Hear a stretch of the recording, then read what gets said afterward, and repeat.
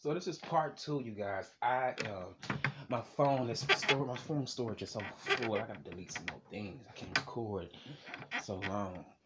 Y'all know me. I I make long videos, but now I have they got to be very very short. So I got to be very very direct on what I'm saying. Cause if I don't get it out all at one time, it wouldn't. It just cut off. But um, like I was saying, and I just got some new information and I already felt it in my spirit. I don't know if I said it on the last one, but he wanted to fuck on somebody else. He didn't have a reason why he told you to get out. Wow, girl, and you just cook for this nigga. See, that's the that's the thing. When you start catering to someone that ain't your man, baby, that's when they gonna start seeing another side from you. And I'm gonna just say it like this: you can you can cook be Susie Homemaker all you want to. You can be Susie Homemaker all you want to, but that's I'm trying to tell you, they still gonna want something new. Mm-hmm. And then you know what? For the other girls, I mean, I was put it like this: for the other girl that's that's that was planning on coming to the condo to get some dick for the baby, you baby, I, you shouldn't even get no ass, cause the same way he did his baby mom, he gonna do you for the free. All because y'all, all because his name is in lights and shit. Now I'm not, I ain't gonna lie, I like his music, but when I see, you know, behavior like that from men, you know, it's just kind of just like wow, it's it's not so it's not a good look. It's just not a good look on your part, and it's not a good look for the woman. Cause man, girl, you making yourself look crazy, not crazy, but just not so bright, you know. Get your, you know, do like um, what's that woman did in waiting to exhale. Instead of her telling the man to get his shit, you should have been getting your shit. Mm-hmm. You should have been getting your shit quick, fast, and a motherfucking hairy. You know what I'm saying? I'm just saying. You know, where in hell someone's gonna be. I'm well. This is what she she said. Just it's like she just dropped everything for this motherfucker just to, I guess, depend on him. But you can't depend on nobody out here. You got to depend on yourself. Because at the, at the same time, when it all boils over, girl, you got to find somewhere to go. I'm sure you don't want to go back to the slums or wherever you came from because it's going to be different. But you should have some money put up on the side. You ain't, I don't think, you know, your fans or whoever out there that, that knows you're going to see you in down, down and out, you know. But just give it to God. Keep on moving and raise your baby, you know. But just this is just this is just the prime example. you got to pick on you got to pick pick your partners wisely. You know, if you're gonna have some sex for the good for a good old night, I know it may feel good unprotectedly, but you need to you need to be you need to have something on. they do make kind of fool and men and men. Well, I, now y'all know that, but hell, you just need you need to make that man make sure. You to tell that man you put a condom on. You know.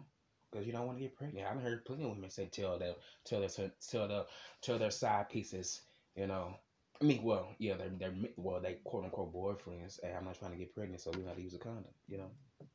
And that's that's how it should be. Yeah. But girl, let's just just let's just learn from this. You'll grow from this. You'll grow from this, cause you know what? What goes around comes around. All these niggas out here that want to sleep around with different type of women, you know, I'm trying to tell you, when you get up in age, you'll see. You're gonna be you're gonna be part of the old wormy club. Mm-hmm. There ain't nobody gonna ain't nobody too much gonna want you. It's better. That's why you should. That's why it's, it's, it's better off to get a wife. Someone that you can live, you can you can um be with for some years, depending on how your relationship is. You know, not every marriage is gonna work out. Sometimes work can get between two people, but that shouldn't really happen either. Mm-hmm. It shouldn't.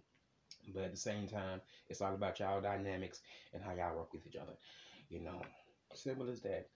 And I wanted to talk. I wanted to uh, tell you guys this too. Man, these grocery stores they are being lazy as hell because they have not t- t- taken down old food or food that is finna expire. I got me some chicken salad the other day, and I was really, really my had my mouth really watery, watery for it.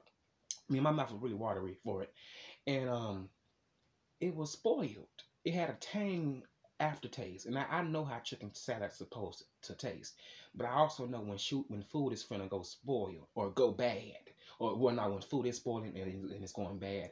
These workers out here are not changing them shells. So you guys, please please just look on no motherfucking expiration dates because right, what's going on right now in, these stores when they got this food in the refrigerator because the damn chicken salad was, on, was in the refrigerator in a plastic thing. But I knew something was up when I seen the top look like it was rising, like it was puffy, and I pushed it down like, yeah, that may not that may not be so good, but at the same time, it could have came like that. But I know I know better. I know when shit when shit is going out of date, the plastic started looking kind of funny, you know, like it just puffs up. But yeah, I didn't make a complaint about it because the last time I went to Kroger, I had found uh, some. Uh, me and my grandmother found some chips of glass in our cheese. Now I didn't go back and tell the motherfuckers that, and I really should have because that really could have hurt both of us. We eating cheese dip. What the fuck is glass doing in the motherfucking block of the cheese, huh?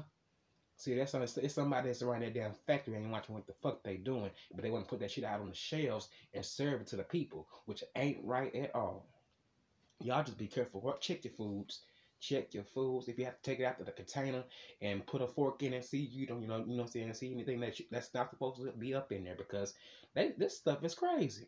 I almost want to have me some chickens and just get just start making me a little garden in the back, and man, that's what it's gonna be because it just it just don't seem it, it's not, it really never been safe, but it just it's just it just goes to show this just this this shit is getting out of hand. It's getting crazy and crazy and crazier. And on my last on my last topic, I do gotta say this too.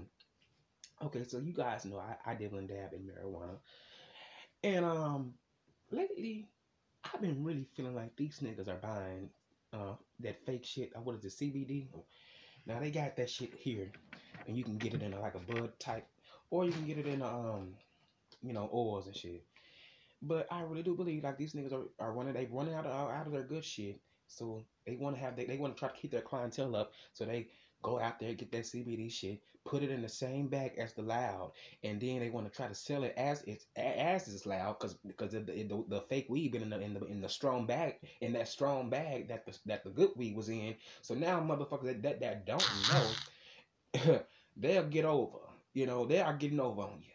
And I feel like a lot of times motherfuckers that about around here are doing those type of things. And that's that's some really shady shit to me. And that's really slick. And it's really, really like, damn, you know, if you ain't got no good good, you ain't you ain't got it. you can just tell me that because why the fuck should you have to keep on rolling up and rolling up, rolling up, rolling up, rolling up, rolling up, rolling up until you feel something? You know what I'm saying? I don't like shit like that. I feel like I just wasted some money. You know, because I don't spend too much money on marijuana like that at all. You know, I eat first before I smoke something. Okay. But yeah, I just feel like a lot of these niggas out here, they lazy. They getting lazier and lazier.